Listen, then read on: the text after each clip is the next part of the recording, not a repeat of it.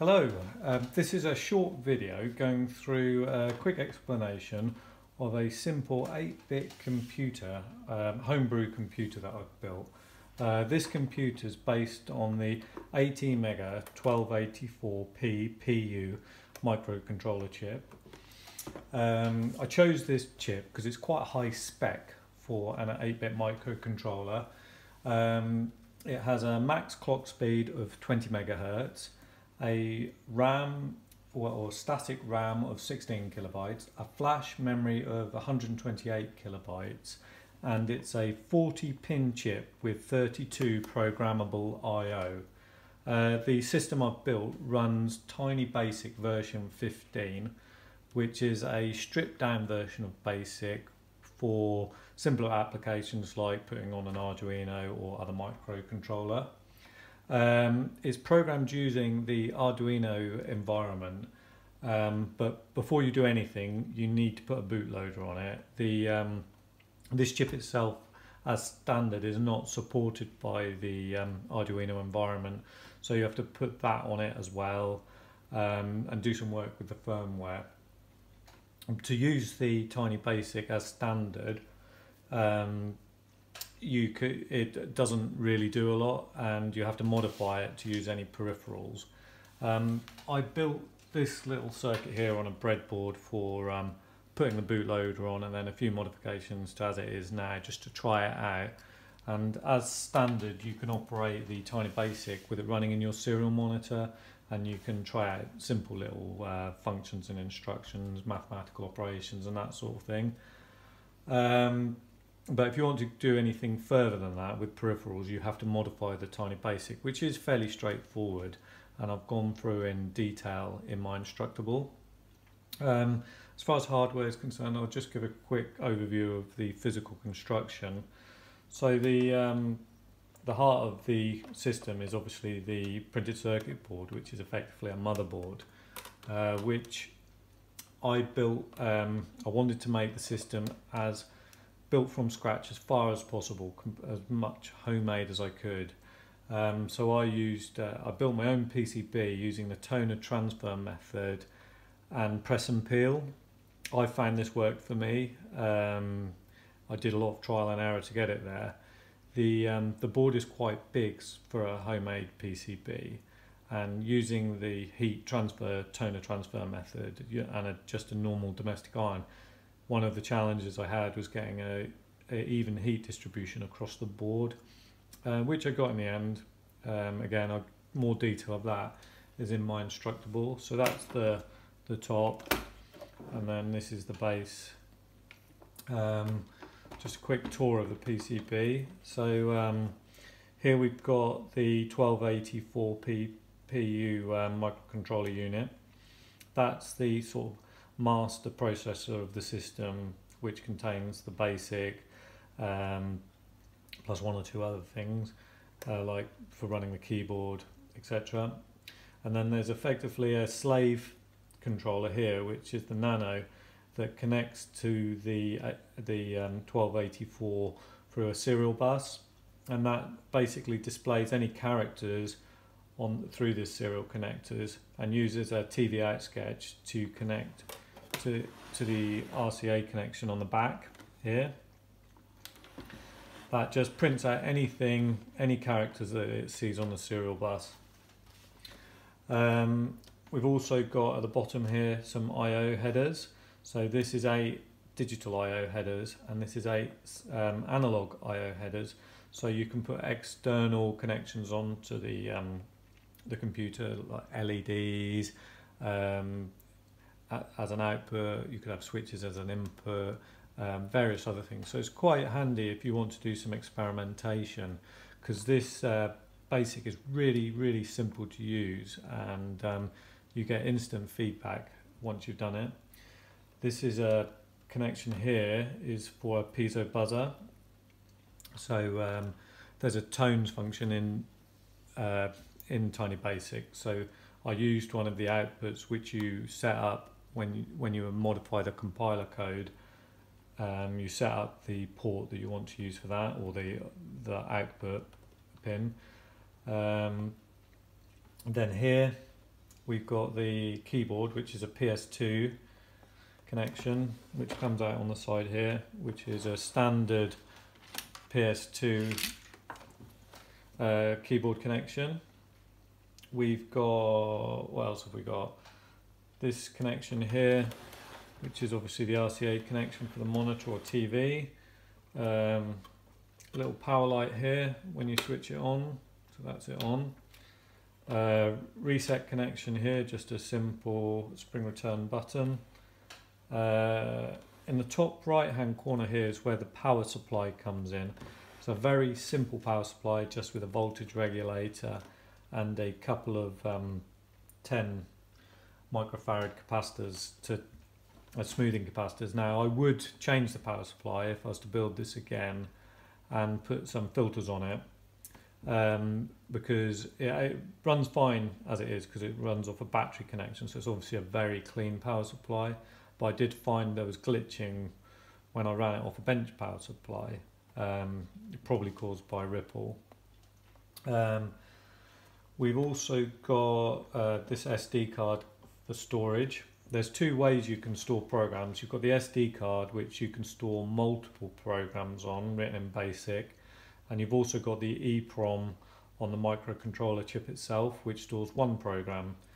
Um, both of which, on the compiler, you can set up to run that program on boot up. So either the SD card or the EEPROM program, if you choose to, um, you can run that straight from boot up I don't do that, but it's an option if you want to. Um, there's a header here right in the middle of the board for an FTDI connection. Uh, this enables you to um, uh, connect to the uh, microcontroller through the FTDI.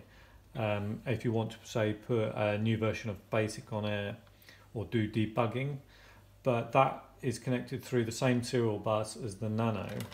So this switch here disconnects the Nano from that serial bus so that when you program it doesn't, um, they don't work against each other. Um, then the case, the case is made out of 3mm plywood which was cut out using a laser cutter in um, the Hackspace which I attend in Norwich. The um, I designed that using a simple 3D CAD program and then just cut it out of a single sheet of plywood and it slots together nicely. Um, the PCB is mounted on a bracket that was 3D printed which you can see underneath as well which has got a square cut out so I can see the underside of the PCB. That was printed on an Ender 3 Pro as was this bracket for the um, SD card shield. This top section here is a folded piece of aluminium sheet um, just done on a sheet metal brake, uh, one of my own. Um, then I've got a sort of piano hinge here and a thumb screw here to hold the uh, clear perspex top and then I have a clear perspex base with some feet on it. Um, right, I'll show you the outputs. So we I use a car reversing camera uh, screen as a monitor because it has the right connection. So that just plugs plugs in the back here. And that just needs a 12 volt supply as you'd expect for a vehicle. Um, then the keyboard, um, that's a standard PS2 connection that connects in here.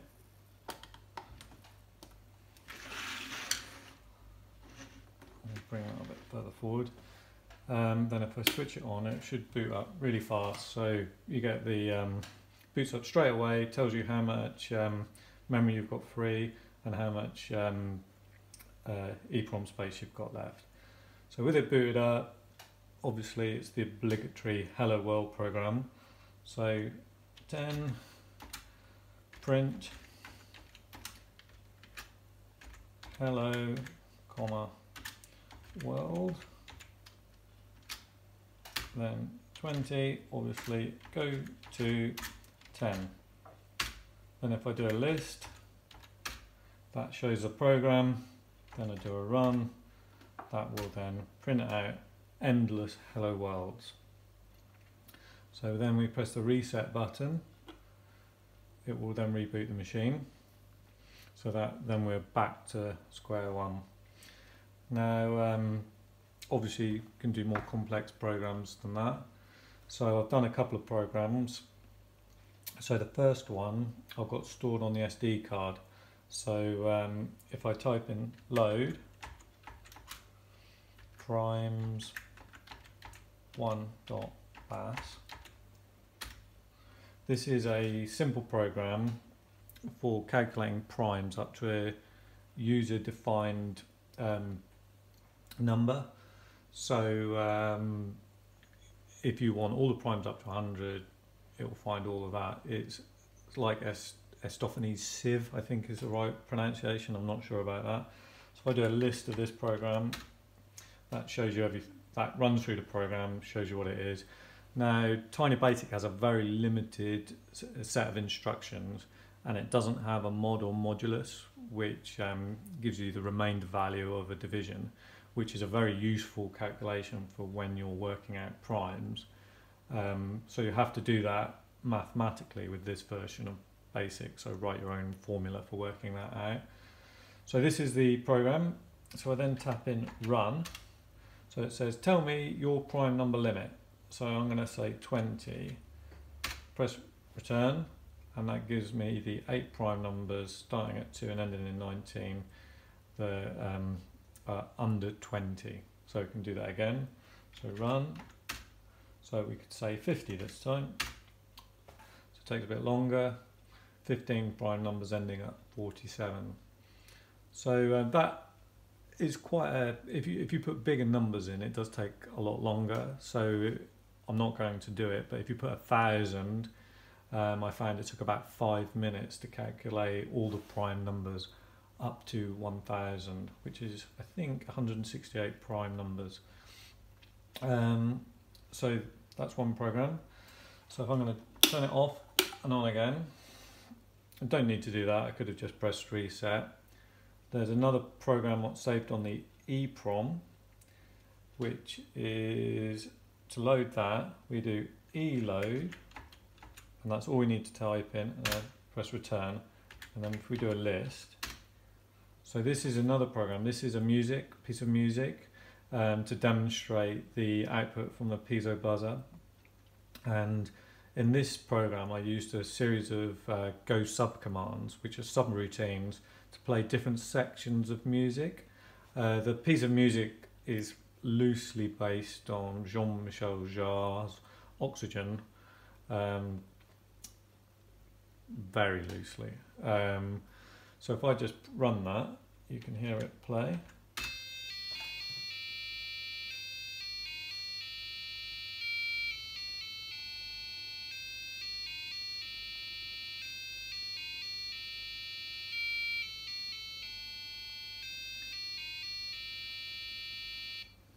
So if you look, um, the tone is actually a frequency um, which is which what I did is I went through the sheet music for the piece and converted the musical note into a frequency in hertz.